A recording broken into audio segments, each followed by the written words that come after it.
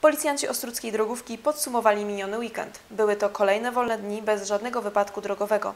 Policjanci w tym czasie pracowali na miejscu sześciu niegroźnych kolizji.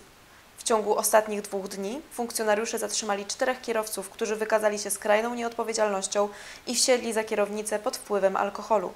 Działania policjantów Ostruckiej Drogówki niezmiennie ukierunkowane są również na prędkość, z jaką poruszają się kierowcy. Tylko wczoraj za przekroczenie dozwolonej prędkości w terenie zabudowanym o ponad 50 km na godzinę ze swoimi prawami jazdy musiały pożegnać się dwie osoby.